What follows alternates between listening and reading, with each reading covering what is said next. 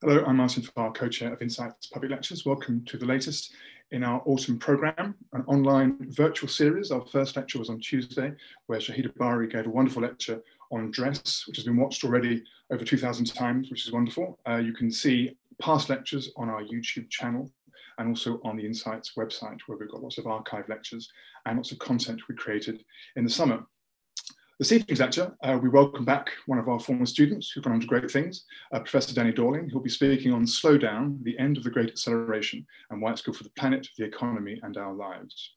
I'll be back at about six o'clock after the lecture to field a question and answer session. If you'd like to ask a question of our speaker, you have two ways to submit them. One is the chat box on the YouTube screen in front of you. The other is on our Twitter handle, which is at InsightsNCL, at InsightsNCL. I'll be happy to pose your questions to Danny at the end of his lecture. To introduce today's lecture, we have Ted Schrecker, who is Professor of Global Health Policy here at Newcastle. Good evening. My name is Ted Schrecker. I'm Professor of Global Health Policy here at Newcastle University. And as you can probably tell, I'm not from around here. I came to the UK from Canada seven years ago and have quite settled in even though as a political scientist, I occasionally wonder how I ended up in the Faculty of Medical Science. I suspect some of my colleagues wonder the same thing. The only thing more dreary than a long introduction is a long recorded introduction, so I'll be brief. Well before moving here, I was reading Danny Dorling's inspiring and data-rich work on inequality on multiple scales. I was first introduced to his work by way of the remarkable World Mapper project, but he's done extensive work on inequalities within the UK and on an even smaller scale as well.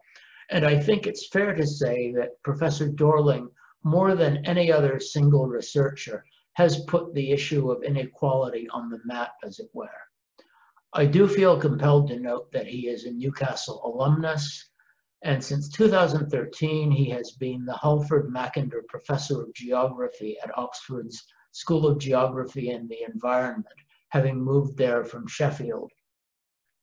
If I were even to try to list his major achievements and publications, I would take up all his time.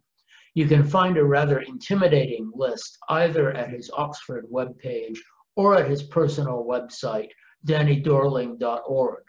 I'll just say that some of us think of him as the Stephen King of critical geography, in that he produces new books faster than we can read them. Check out those websites and you'll see what I mean. Danny, it is an honor and a delight to welcome you virtually to Tyneside, and I hope that all of you viewing this enjoy the lecture, as I'm sure you will.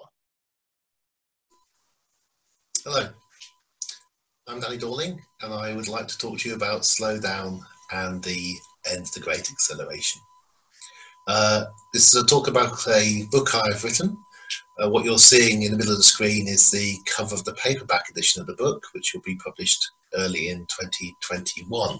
The hardback came out uh, in spring of 2020 and was finished in January of 2020 before we had any idea of what was about uh, to befall us. Uh, the last changes to it were made, I think, about the 6th, 7th of January in 2020. So this isn't a book, this isn't a talk about the pandemic. Uh, this is a talk about processes which were under play long before the pandemic and will be under play almost certainly uh, long after it actually becomes part of our history and not something that has absorbed us so very much. The sandcastles I'll explain at the end.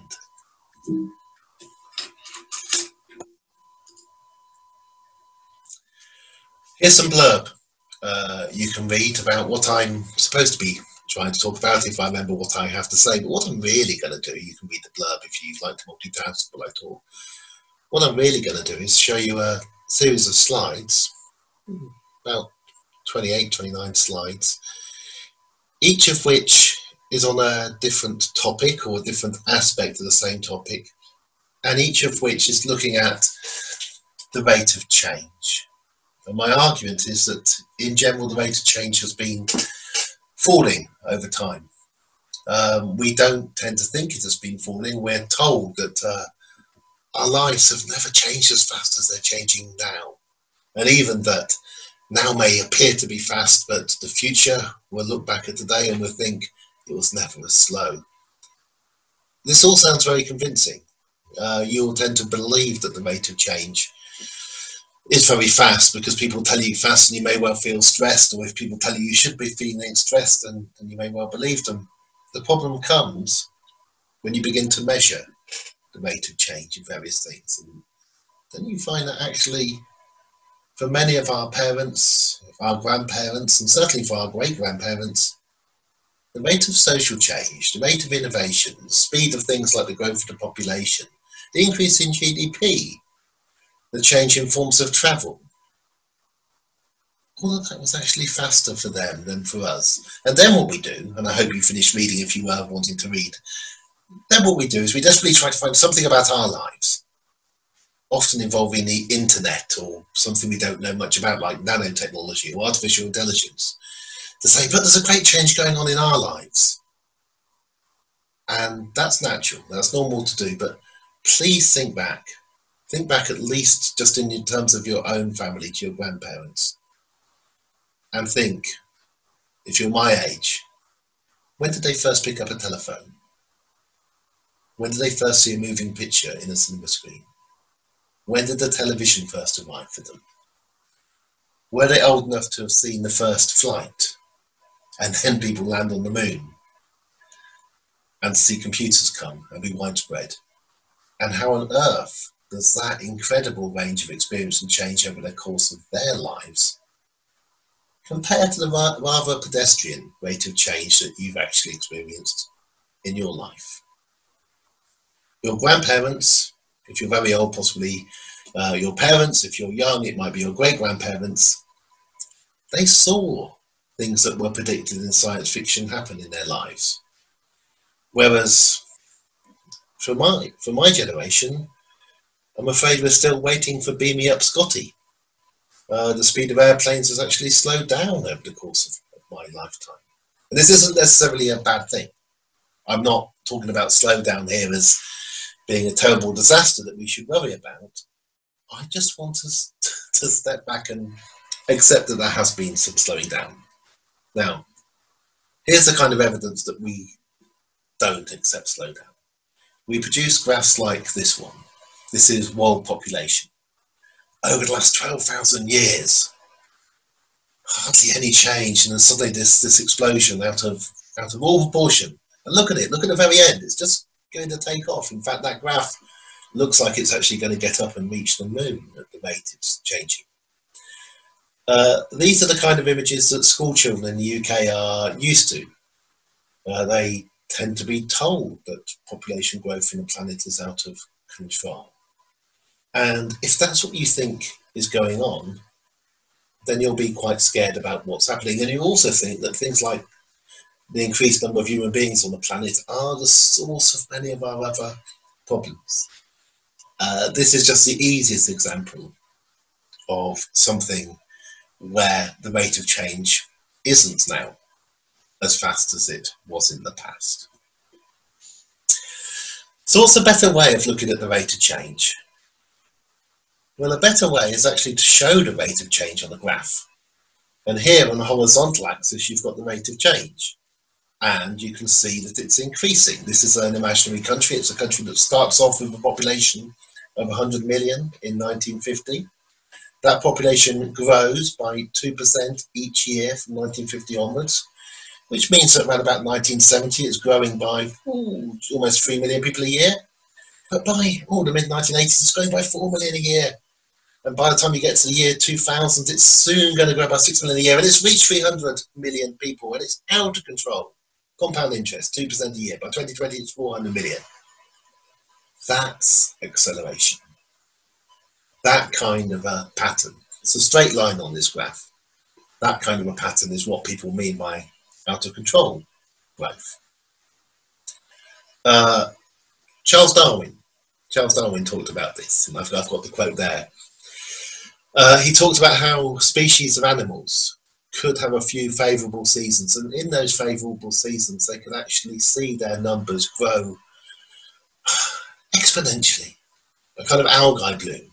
The, the, irony, the reason I have the quote from Charles Darwin there is the, the irony is that he was writing just as that algae bloom was actually occurring in his own species, just as that population boom worldwide was beginning.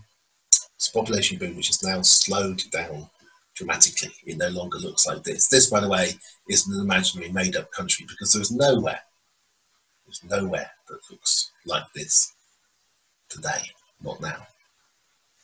Let's look at a, the opposite extreme. What would slow down, real, real dramatic slowdown look like? Well, it looks like this. Again, we start with 100 million people in 1950, and again, we start with 2% population growth. But then 1951, reduce it to 1.9%, 1952, 1.8%, 1.7%, and so on. So that by 1970, the growth is 0%. It's no longer increasing or decreasing, but then by 1971, it's going down by 10%. Now, that kind of a slowdown initially increases your population up to 120 million people, but then it begins to plummet. Goes down and down and down into a kind of children of men scenario in which the last person is wandering around on their own in 2070 with nobody else to have anybody else with, and that's the end of your population. Same kind of a graph. This is a timeline graph. Same idea. Change on the bottom axis or horizontal axis. The actual level you're looking at on the vertical axis. And it lets you see that you've had a rate and slow down.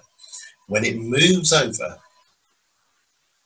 to the left-hand side of the screen to the negative side, then you'll see actual falls. When it's on the right hand side, you're seeing increases, and the further to the right, the faster it's increasing.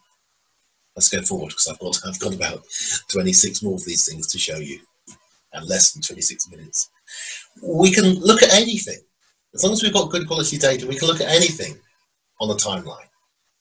Um, and the reason I've called the book "Slow Down" is because the things I didn't think were slowing down actually turned out to be slowing down.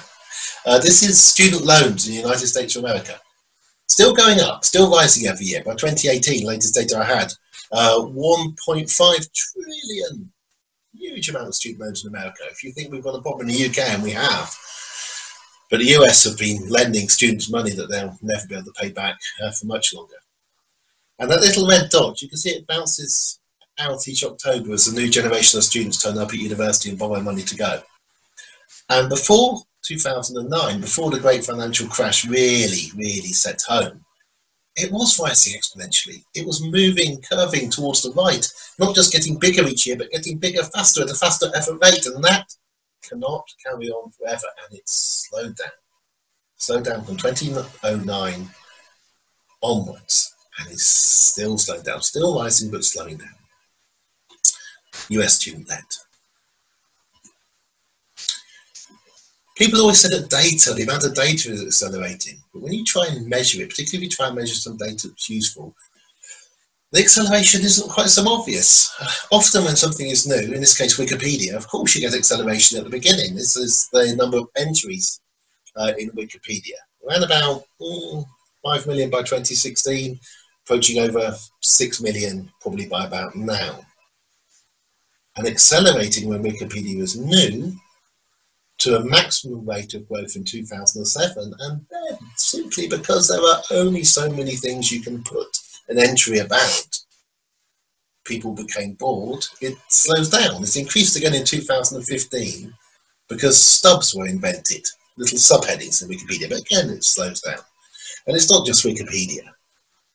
All the data we have is not increasing exponentially even even all the selfies we're taking are not increasing exponentially because you cannot keep on taking more selfies even faster than you did the month before. It's not possible. Not everything is slowing down. There are a few things that we measure with high quality data which are accelerating. And one which is absolutely key is our carbon emissions. And again, same graph, but look how it's sloping overall to the right. So it's not just that the carbon emissions are still rising to 35 billion a year by the time of the Paris Agreement. it's that they're actually going up faster each year than the year before. And very sadly, every time we have a Rio agreement in 1992 or Kyoto Protocol in 1997 or the Paris Agreement in 2015, each, each time we think we've done something about it, um, we kind of take our eye off and it accelerates again quickly. It, it reacts best to global recessions. Uh, the recessions in the oil crisis in 1974, but the big recession in the early 80s, we actually see a decrease in, in carbon emissions. Uh, same with recession in the 1990s. If you don't have recessions and you don't do anything else, or don't do enough, then your pollution rises and rises more than before, doubling every 23, every 24 years. It will have slowed down again this year because of the pandemic, but it won't slow down long term unless you do something about it. So emissions is a rare example of something that ha hasn't yet slowed down. Let's go forward. Here's how that graph I've just been showing you, in the little red dot you've been following, looks like on a conventional graph. And the reason for showing you this is, is to show you exactly why I draw the timelines in such a convoluted way, because on a conventional graph, you don't see the, the subtlety of the switches, it just looks like it's going up. You don't notice that in fact on the conventional graph, this one starts in 1960, in the 60s it was increasing quite regularly each year, we know now, these are estimates. But by the time it got to the early 80s, it falls. You don't notice the fall, but the fall is important. You need to know it's possible to fall. Conventional graph is easy to understand, but very hard if you're interested in looking at the changes within the changes. It, it really hides those within the graph. Let's go forward. Look at temperature, because this is why we're worried about carbon emissions. Now, temperature reacts to, to, other things. It's harder to measure. This is a global average. Uh, this is the NASA estimate. It's for a longer time period than, than, emissions, and you can see the effects of things like war. But as we head into the 70s and the 80s and the 90s, again, you can see the recessions and the Great Recession 2008, 2009. But again, you see it sloping towards the right. So temperature and emissions are not slowing down. The number of people on the planet is slowing down. We're going to move on to that pretty soon. This, by the way, is the most complicated graph. So if you're finding it hard to get your head around these graphs, don't worry. You're not going to be seeing another one with quite as many swirls and spirals as this one in the next quarter of an hour. Population. Now, if you remember that really scary graph of population growing, here you can see a dramatically different graph, and this includes the UN estimates from 2020 onwards. Look at that, population keeps rising after 2020, 8 billion, 9 billion, they think possibly 10 billion, slowing down to 11. The latest estimates, by the way, are lower than this. But look at that curve changing. Instead of rising as it did around about the time that I was born in the late 1960s by an extra 80 billion, 80 million people a year, I was one of those, or by 90, almost 90 million later, rapidly going down to just 60 more million, 50 million, 40 million, only 30 million, only 20 million people a year. Now, other estimates have stability occurring earlier than this, but that is what a slowdown looks like, dramatic slowdown. And all those extra people, by the way, almost all of those extra people are being born and growing up in those parts of the world which emit, emit the least carbon. I'll just let that one run through to 2100 and then we'll move forward and begin to look in more detail at particular parts of the world, but look at the world differently first. Right, the log scale. Why am I showing you it on log scale? Other than I promised to make the graph simpler and I, I haven't, is to show you that particular events were really important in the history of, of global population. Uh, the two particular events, well, three that are highlighted here, uh, the first is 1492, and the ships arriving in the Americas and taking the diseases to the Americas. And then you actually see not a declining world population, but a dramatic slowdown for a century from 1500 to 1600. And that's because of the, the diseases in the Americas. And then from 1820 to 1850, you see another slowdown.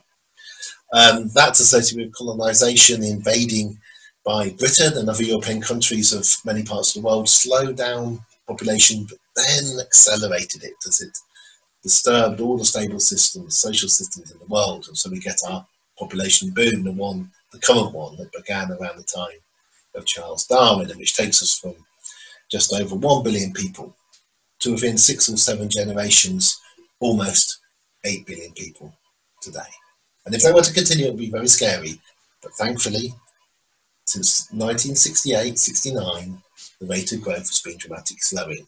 Not due to diseases being introduced as in the Americas, not due to slavery and colonization, but due to people being able to control the number of children they have themselves and feeling secure enough that they can they can do that. Let's go forward. Because you may be thinking, oh, that's true of part of the world, but is it true? Is it true of everywhere? And this is where recent data is very interesting.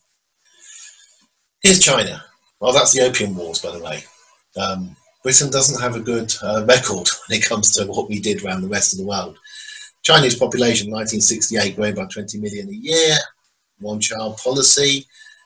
But in fact, average number of children had fallen from six per family to two before the one child policy. And now, after the policy has been long abandoned, China is still looking at a dramatic slowdown to a billion people, falling to a billion people by the end of this century within just 80 years of now.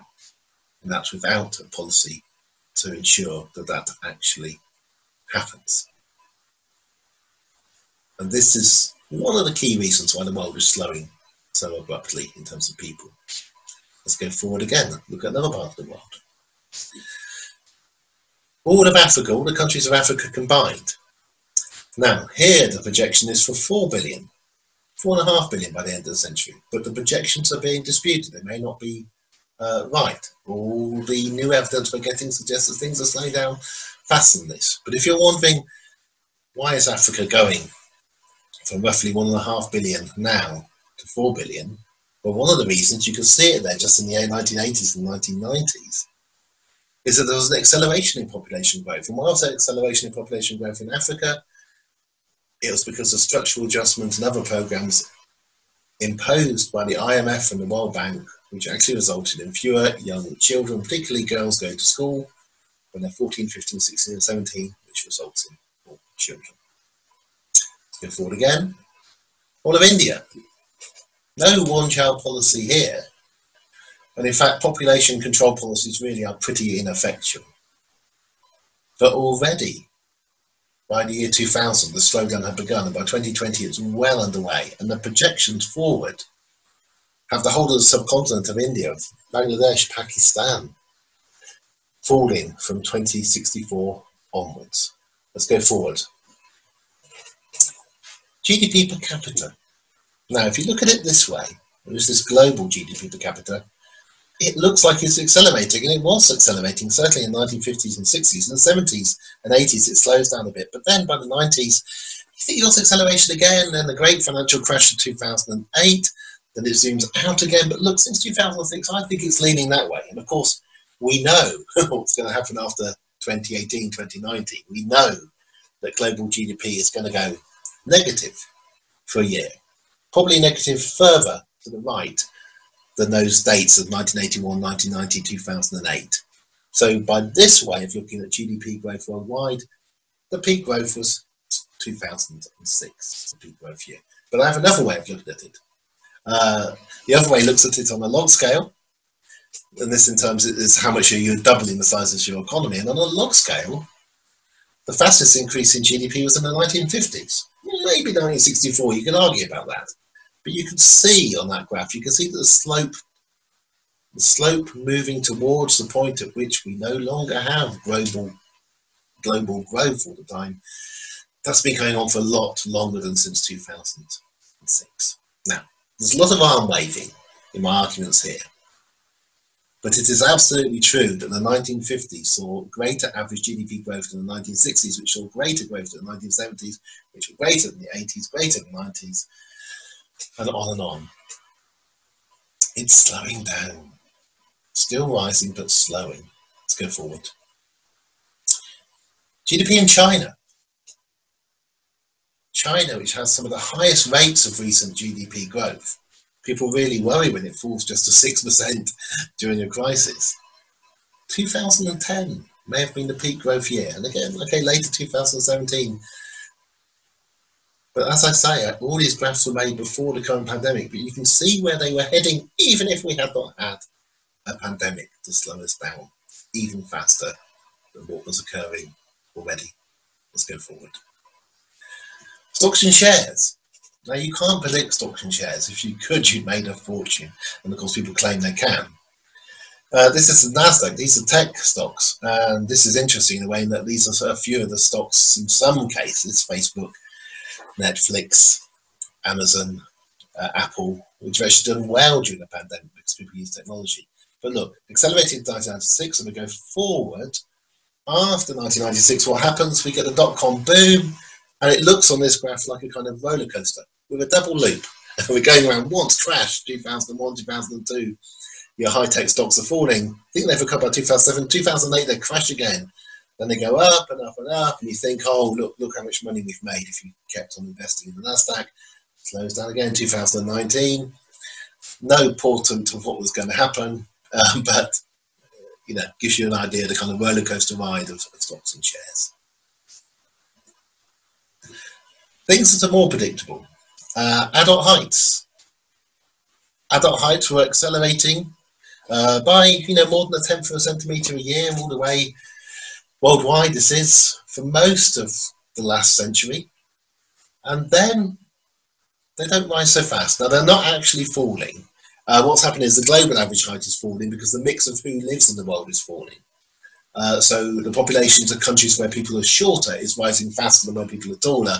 But within every country, the height of human beings is no longer rising as fast which suggests that we're kind of approaching a slower change. Again, think about your great great great grandparents, your grandparents, your parents, and your generation. Think of the average height. Think of going to university graduations if you do that. Uh, the thing that most interests me about university graduations is how much taller, on average, the graduates are than their parents. How many inches? Now we know we've controlled for all other kinds of things same social class, same background, same um, parts of the world or country that they come from. Uh, but traditionally, younger people became taller uh, than their parents within the last hundred years. That change, that change is coming to an end. Graduates. Temperature still accelerating because emissions still accelerating the third thing, which is still accelerating, or was, a number of international uh, graduates studying in the globe and going up to about 35% of people being at university uh, in recent years. Now, of course, this probably has slowed down with the pandemic, but it's going to have to slow down anyway because it, it can't get to 100%. So it just shows how rare this kind of an increase is. It doesn't go on forever. But I wanted to show you all the things that I could measure where we had good quality data, where there was still an acceleration of graduates, so the third one. So you have to think, what, what's the fourth one going to be? What's the, the, the last thing that is actually or was still accelerating? And I tried to measure maybe almost a thousand different things that we had good quality global data for. Let's go forward.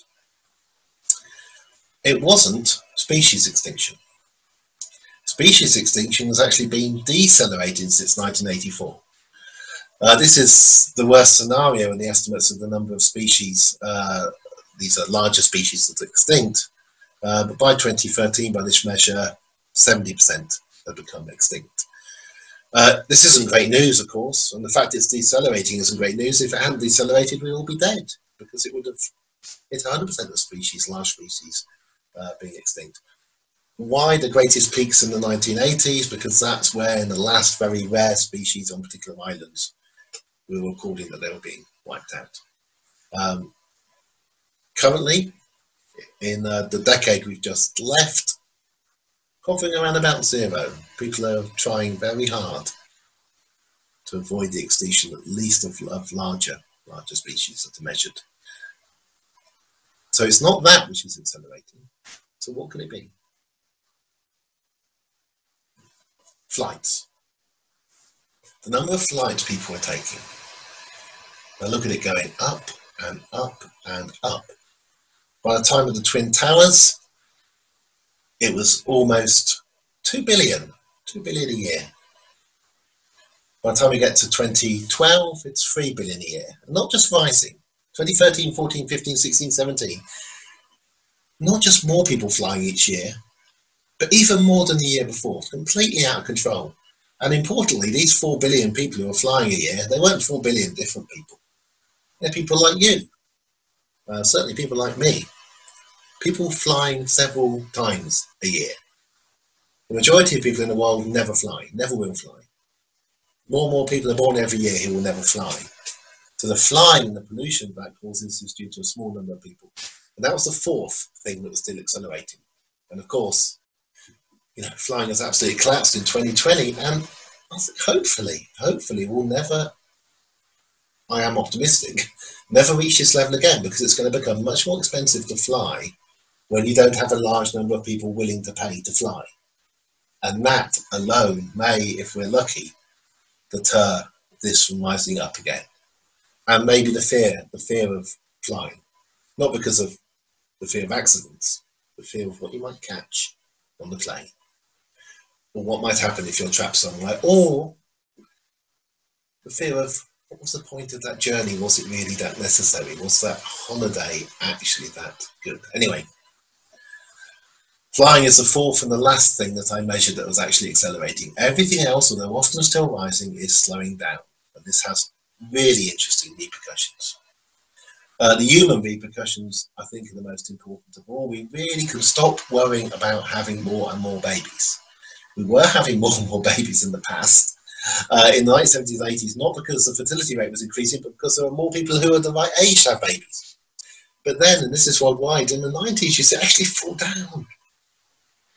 Okay, and it's just sort of zooming around a steady state, 135 million babies a year, then plummets, plummets down to 125 uh, by the end of this century by which time we'll have more people dying than the number of babies being born. And for the first time in the history of the human species, we will have a particular kind of stability that we've never had before. We've only seen global population fall before in the times of huge pandemic, in the times of world war, in the times of diseases being brought to whole new areas of the planet by people moving around, not this kind of steady steady state, steady, steadying down that is going on at the moment. And there is the projection forward. The only reason, by the way, it rises by the late 1980s and 2000s is the grandchildren of the baby boom post-war. Life expectancy.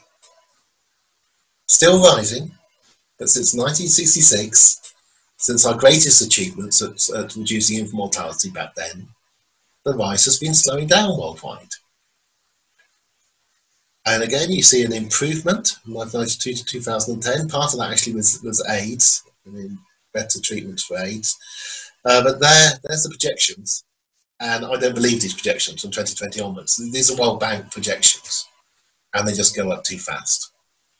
Uh, so the data to date suggests that life expectancy, while still rising worldwide, and look, it's you know reached almost 73 years, is probably not going to rise as fast as it rose in the time of our parents and our grandparents and our great grandparents. Only a few more slides to go, just two or three, so don't worry, we're going to get to a conclusion. This is the last graph uh, in the book Slowdown. And it's there partly because this way of graphing data uh, was invented uh, not by me, uh, but actually by Japanese social scientists who used it for what is quite an obscure purpose uh, to try to measure the extent to which cities in Japan were suburbanizing or whether the growth was concentrating in the urban core. And this is the graph for uh, Tokyo.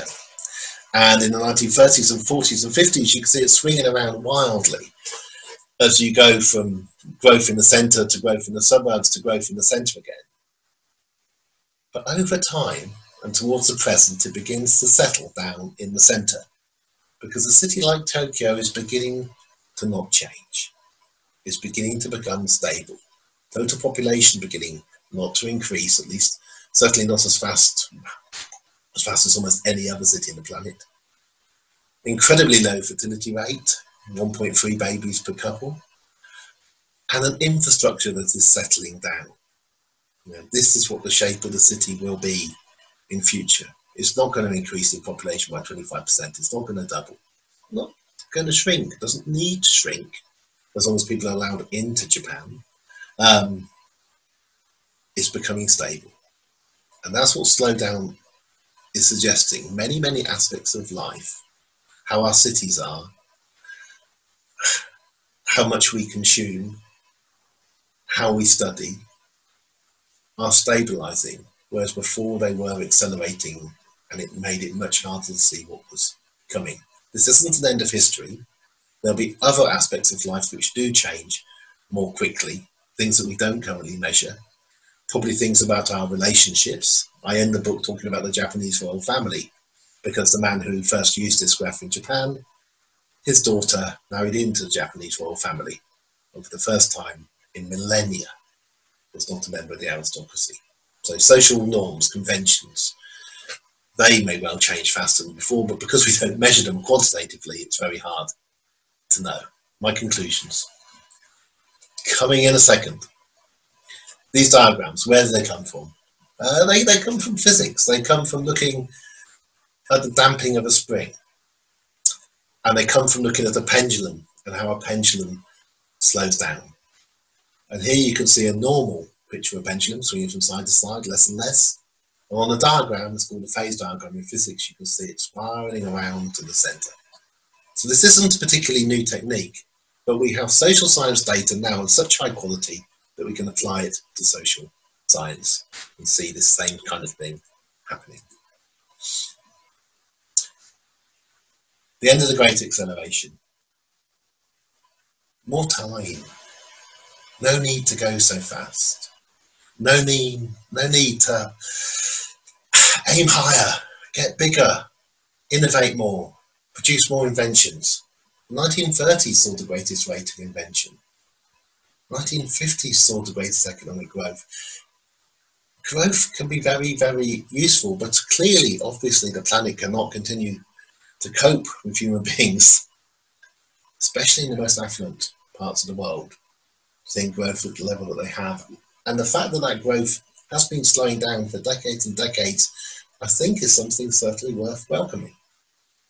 This doesn't say that there will not be other changes. Of course there will be.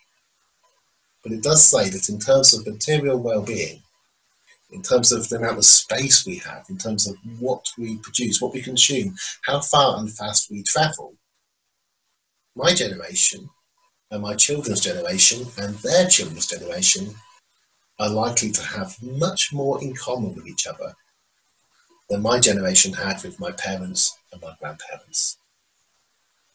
And that we should welcome because we really, really do need to slow down. Thank you very much for listening.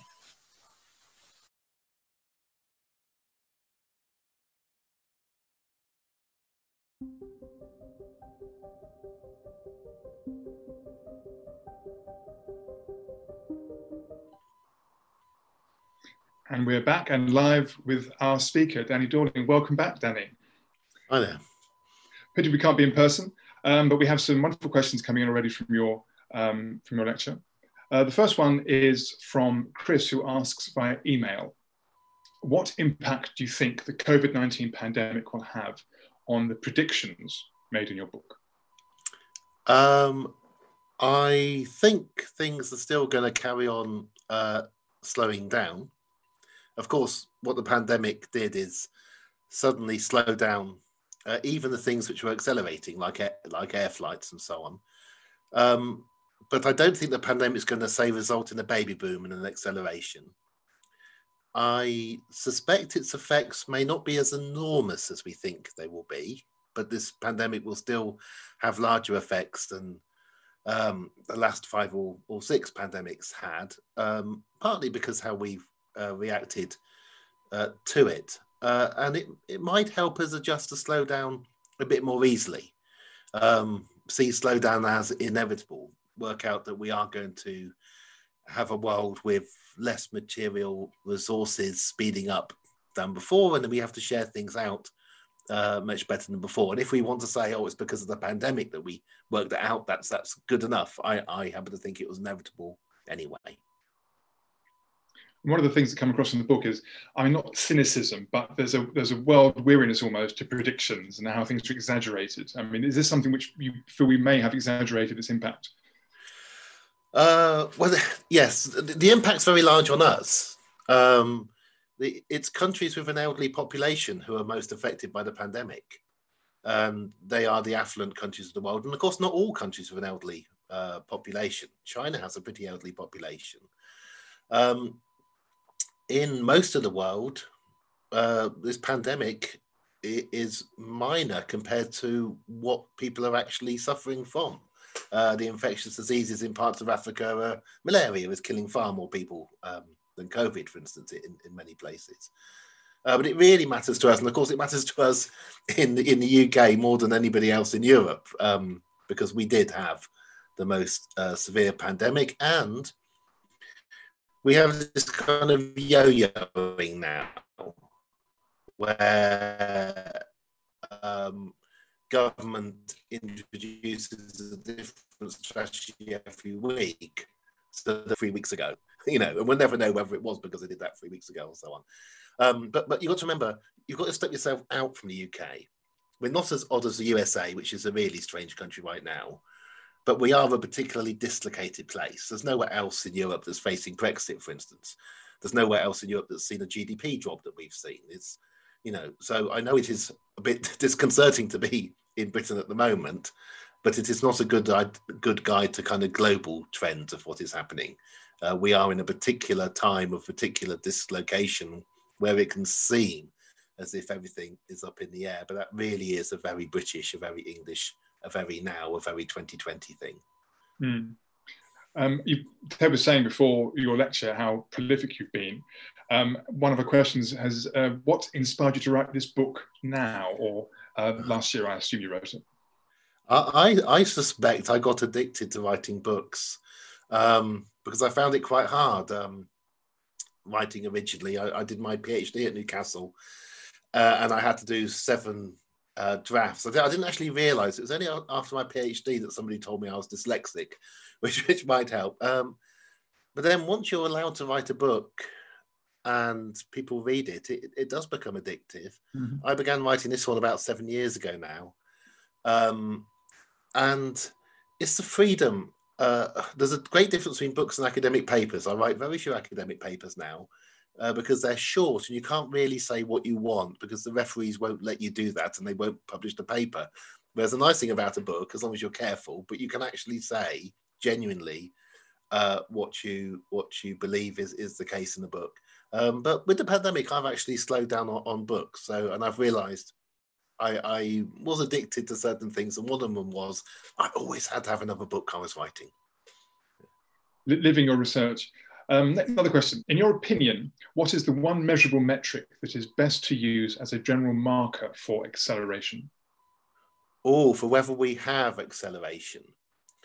Um, the best is probably the boring one of our actual numbers uh, of how many people there are um, on the planet, particularly young people. Uh, so it's, it's not that exciting, um, but it's when we see human population slowing that other things, and particularly the way capitalism works, um, capitalism really only works when you have an, a market which is growing, and that essentially is more people. Um, it's not about more people being richer. You can only wear one shirt at a time. But if there are more people being born who are going to buy more shirts and you produce shirts, then odds on, even if you don't do any anything particularly innovative, your business should grow. And um, this breaks the recent government rules about what we're not allowed to teach. I don't know if they affect universities, but certainly if you're a school child, you have to stop listening now. But you know, capitalism basically doesn't work in the long term. It's not sustainable. Uh, what what I think I've seen signs of, and many other people have, is that it changes actually a bit more slowly. This slowdown, when you look at it, it had to slow down. You can't have everything accelerating all the time. So, of course, it isn't when you look at the data. The irony is that we have this rhetoric uh, of it's always getting faster all the time. And I think that really does come from my grandparents' time when it was true. And it's a very comforting thing because I am feeling stressed. It's really hard because the world's changing so fast. Um, whereas in fact, you're feeling so stressed because we're not organizing our world very well. It isn't changing uh, that fast. The you know the new forms of transport are not that amazing compared to what they were in the past. It's just that we've set things up in such a way that they're not satisfactory. And because we're not accelerating, we can't say, oh, don't worry, just around the corner in 10 or 20 years' time, there'll be new nanotechnologies or something else that means that all your worries will go away. You know, we're beginning to realize that isn't on the cards. I was struck this morning with the last British Airways 747s taking off the retirement of after 50 years. Yes. Yeah, and um, it's amazing to, to read about the tests. I think I have them in the book. Um, the test flights were 1968. So, so 1970, I think, is the first time they decided that passengers could actually go on these an, an enormous planes. Um, and you know that is that is in 1968, 1970, that was quite remarkable. And what's also remarkable is 1968, 1970 was the peak growth of human beings. It was 2.1% compound growth of people uh, a year. Uh, there are an enormous number of things that peaked around that time. And of course, 1968 is also when the Population Bomb book was published. Um, it, it's um, odd to think how long it takes us, how long, how the lag between something slowing down and an acceptance uh, that this kind of slowdown appears to be inevitable. Also, the year of the, the moonrise photograph from Apollo 8, putting everything in perspective. Um, mm. This question we'll put on the spot. How can we use this data on acceleration to our advantage as a human population?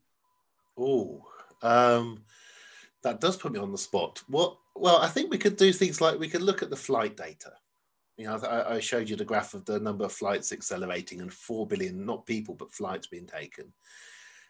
And you could look at that and say, that was absolutely ridiculous.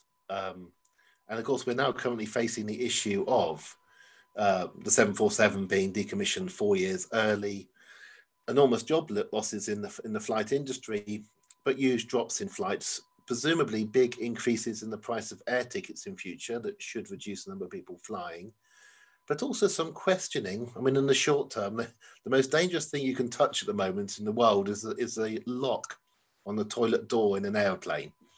Um, I, th- I, think I'm. Don't quote me on this, but uh, I have actually written one paper, a paper with some colleagues, Chinese colleagues, um, about business travellers and who most likely transmitted this disease. Uh, people who go on planes are more likely to integrate with other people and, and to be dangerous. But anyway, what I'm trying to say is, in terms of an example of how we can use this information sensibly, you could just look at that graph of flights going up and you could say, it was going to slow down one way or another in the next few years for a reason. You absolutely couldn't have predicted this would be the reason. It could have been a huge increase in the price of oil in three years' time due to some war. It could have been anything, but it had to be something because accelerations cannot uh, go on forever. And then you need to begin to say things such as, well, how can business work without people flying to New York? Now, we've actually learned that recently. Uh, but also, how can you be happy without flying somewhere warm in January? Now, of course, most people can't fly on a holiday in January, but it, but it, all these questions of um, how to live a happy life and a better life with less flights uh, matter, and they're not easy uh, because travel really does matter. Uh, you can get young people to give up driving. You can give well, we'll never take it up because uh, so many don't pass a driving test and not have a car. What you can't do is get people not to be adventurous and want to explore and want to travel. So that question about flights, you have to substitute flying, or at least flying in that way of airplanes, with some other way of being curious and moving around wasn't quite so out of control and, and quite as destructive. Uh, so, so that's an example. But, but in general, um, when you're promised enormous change to come in the future, just be really skeptical about it. Uh, when you're told that your children will be much better off because they'll be in the world of gadgets, um, those gadgets won't necessarily be that different. Uh, when I was a student in Newcastle, there was Professor Besag, a statistician, uh, who was writing papers. I was a very nerdy student, which is obvious. Um, was writing papers on pattern recognition uh, and the analysis of pictures. Uh, and th this is 19, 1986 uh, to 89.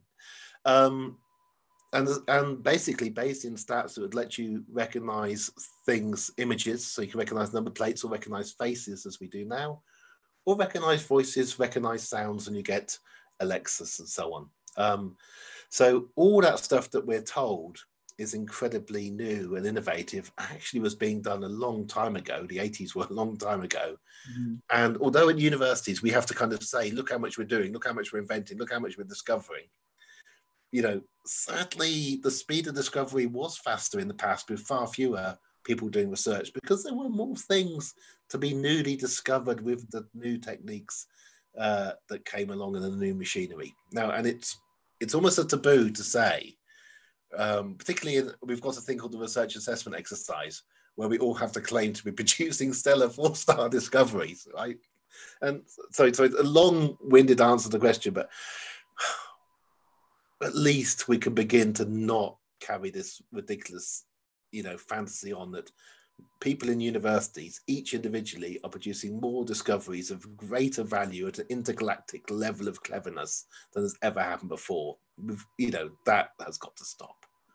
Today's word. Um, AC asks, Hi Danny, do you have any opinions on the role of social impact bonds as a means to nudge investors towards more desirable social outcomes? Will they affect anywhere near enough to change? Uh, yeah, social impact bonds. I'm okay. I'm a, I'm a bit of a lefty, so I'm a bit of a skeptic on on these, um, because underlying the rationale of the social impact bond is still the idea that somebody's going to make some money, otherwise they wouldn't invest in the bond. Or, for instance, the pension scheme wouldn't invest. You know, our pension scheme, the biggest private pension scheme in Britain, the USS, you know, it wouldn't invest in social impact bonds if it didn't think it was going to get enough money to pay the pensions. So the real motivation won't necessarily be social. Now, you may say you can de devise a series of measurements whereby the bond only gives you enough money if you solve, say, homelessness, which this government has suggested social uh, impact bonds um, could be used to solve homelessness. Alternatively, you can look at those countries in Europe which have largely solved homelessness, of which the premier one is Finland, and they didn't do with social impact bonds. So it's an American idea. It's the idea of doing good with large amounts of money people who've got a lot of money doing good. I'm afraid when I look at geographical differences across the planet, those countries where a few people don't have a lot of money, like the Scandinavian countries, do far better. And those countries where money is concentrated in a few hands, like the USA and the UK, it, life is not good for a lot of people. They have the highest rates of poverty. So I'm a skeptic on social impact bonds. Um, I'm glad I haven't been asked this question. Um, do you feel once acceleration slows, we will have a new baseline, a plateau or period of deceleration, and that long term we will experience a cyclical model of acceleration and deceleration? I have no idea. No, I can be honest. There's no reason why I should have any idea. Um, and I'll tell you why. Of no idea. We can't even do this backwards in time. Uh, so um, if you look at, say, Thomas Piketty's description of inequality over time, he kind of says it was very high, and then we had this brief period of low inequality and then up again. But other people disagree. Uh, I've seen data showing up and down, and that's about the past. Now, if we don't even know about about the past, um, we we don't know about um, the far future on this. But I think it is not unreasonable to say that what we've just lived through has been odd. Uh, the fastest acceleration in the history of people on the planet, the biggest increase in our numbers in the shortest amount of time. Nothing like uh, the various uh, farming revolutions that took 40 or 100 generations that have been written about and went away. This industrial revolution, this world capitalism uh, thing, occurred in an incredibly short amount of time, and it's hard to see that happening at least for several dozen generations as quickly again. But you can't you can't predict uh, the future, but you can at least far better interpret your presence and just say, it doesn't look like this when you when you measure it, which is all I've really done. And, and the only reason I've got some confidence in this is it wasn't what I was expecting to find. I wasn't confirming my own prejudices. Uh, I was actually trying to find what is speeding up and what is slowing down. And I kept on looking for the speeding up and I kept on asking people to give me suggestions. Um, I just thought I was being lazy or made a mistake. Uh, and eventually I realized, of course, hardly anything actually is accelerating at any one time. But more things were accelerating in the recent past. And our last audience question comes from SilverDM123, who asks, given the acceleration of technology, uh, Moore's law, do you think this will have an increased deacceleration of human endeavor as machines take over? Uh, well, I mean, Moore's law is curving slightly. There are lots of debates about this, uh, but much more importantly, uh, the, the things that we put these extremely fast computer chips to are not as impressive as, as what we used to. Um, so when again I was sitting as a student in my in my room in Newcastle in the 1980s, and I had a little computer um, with a 16k memory, you know, we really made use of it. You know, incredible uh, uh, use of it. Um, I can remember being allowed to use 280 magnetic tapes in the bottom of Claremont Tower. Um, so I won't rattle on about this, but um, the way we waste what we have now, uh, I'm very skeptical in the book. I talk about the four artificial intelligence revolutions of my lifetime. Four times uh, people have said artificial intelligence is just about to take over uh, since I was a child. Uh, so it's a kind of, you know, I am skeptical when I am middle aged and we get like this at this age. Uh, but I, and again, it, it fits back to Julian Besag's pattern recognition. Most of the artificial intelligence that really impresses us, um, being able to talk to a machine in our kitchen and it answers and so on, it's not actually artificial intelligence, it's a form of pattern recognition. Uh, there could become a scary moment when the machines do do something scary I have not uh, yet seen it, and it it's that which which holds me back, and also we we need to be clever about what we're trying to put these things to. Uh, one good example is automated cars. Um, you know, we could design a world in which people are driving around in cars that drive them, in traffic jams which are enormous, where they get no exercise and that might be ever so clever for the people who work out how a car can drive itself, but it might not increase aggregate human happiness. And understanding aggregate human happiness and morals and so on. Uh, every so often, I ask Alexa, uh, what is the right thing to do in this situation, just for a joke, to see what she says. Uh, and, you know, the answers to the question, what is the right thing to do in this situation, uh, that is a long, long, long away from where we are with artificial intelligence. I don't mean to end on a on a, a, low point, but one of the things that come across in the book as well is is worry and fear. And I wonder, since you're doing an epilogue, I think for the new edition, uh, how much that's been a feature of 2020 and how you would map that or think of that in historical context. Uh, yes, I'm do doing adding an epilogue for, for, for edition coming out in January, which which will be about the pandemic. Uh, we are a worrying species. Uh, we we really are. Uh, we're very good at tossing up the number of things that might end us.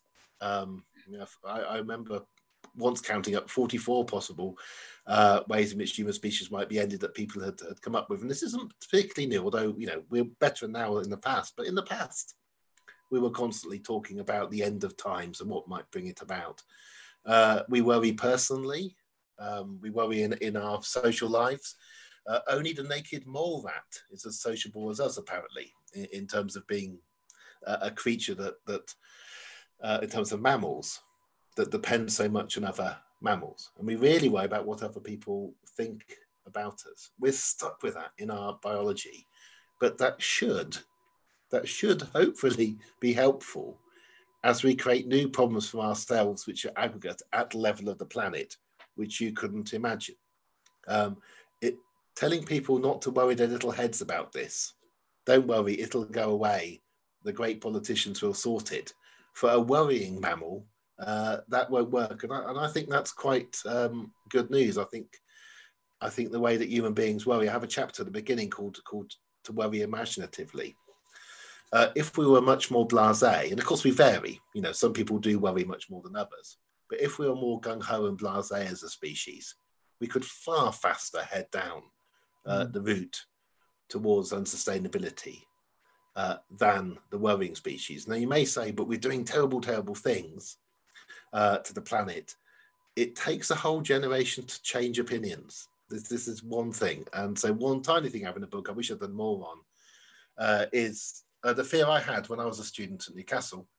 Um, I arrived in 1986. Two years earlier, the atomic clock had been at three minutes to midnight. Uh, atomic war was nuclear war was seen as the most likely thing uh, to happen. There's a film based on Sheffield called Threads. We thought we were all going to die in nuclear Armageddon. Uh, and within my lifetime, we've reduced the number of nuclear missiles on the planet tenfold. Still a threat, uh, but at the time of Ronald Reagan, who was president then, we just thought it was absolutely impossible. Now, disarming nuclear weapons is far easier than worrying about the effects of species extinction and accelerating temperature rises. But we did actually do it. But it was a new generation who did it. And it was the generation who grew up believing that this was the most important problem that did it. And that, that's why I have an optimism. The pessimism, of course, is the next thing is always something you never imagined. Uh, nobody in 1900 imagined nuclear war. Hardly anybody imagined global climate change. We find them now, but they really, really didn't. I was taught at school before, before coming to Newcastle that the Ice Age was coming. And uh, Newcastle geography, I was not taught about global warming because it wasn't known uh, then in, in the department. So if you want to just not worry, but you know, worry imaginatively, in 50 years' time, there will be a huge problem. And it will be something that nobody at the moment is worrying about at all there was a kernel of hope in there, which I will extract uh, as we approach the autumn of our year. Um, yeah. At this point, I will turn to the audience in the Curtis Auditorium in the Herschel building, which you remember well, yes. and ask them to thank you for a wonderful and stimulating lecture, but I can't, so I'll do it myself. Thank you very much, Danny Dorling. Thank you ever so much for having me. Thank you. And if I could just give a bit of a business for our audience, uh, our next event was meant to be Adam Gridley uh, speaking on, as an expert by experience, speaking on the Tuesday, the 13th of October next week. That's had to be rescheduled. So Adam Gridley will now be on the 5th of November, bonfire night, Thursday, the 5th of November, rather than Tuesday, the 13th of October, which means our next event will be Joanna Bourke speaking on a global history of sexual violence next Thursday, uh, 15th of October at half past five as usual. Thank you very much for your questions and hope to see you then.